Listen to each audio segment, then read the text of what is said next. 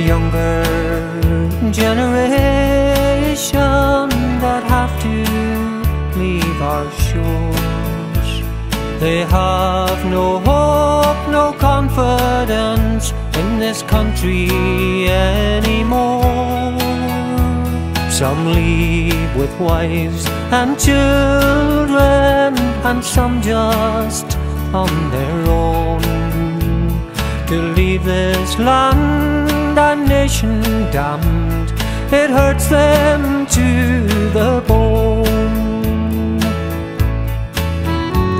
Our Irish sons and daughters have left this land before.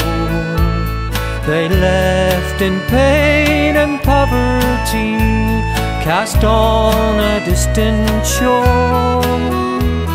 And now once more they must depart against their heart's commands.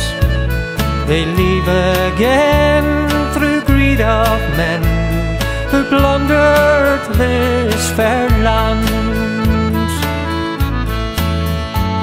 They robbed our riches, stole our gold, these men of silken hands. They built a concrete wilderness and castles in the sand. The castles now have tumbled down, new masters rule our sod. They laid to waste this once proud place, for money was their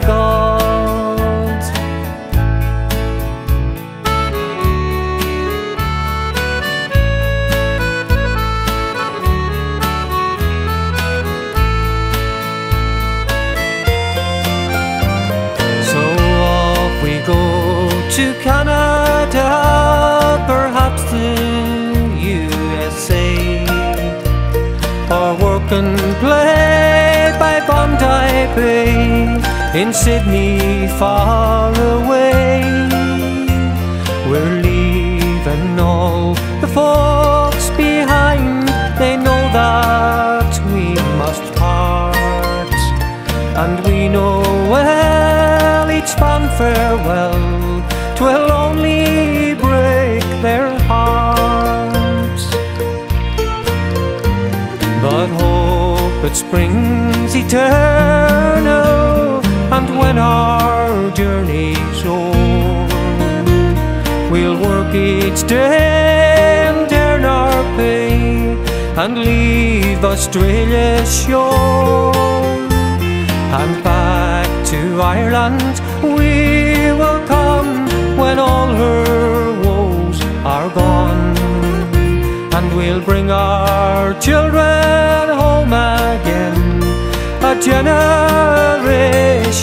on.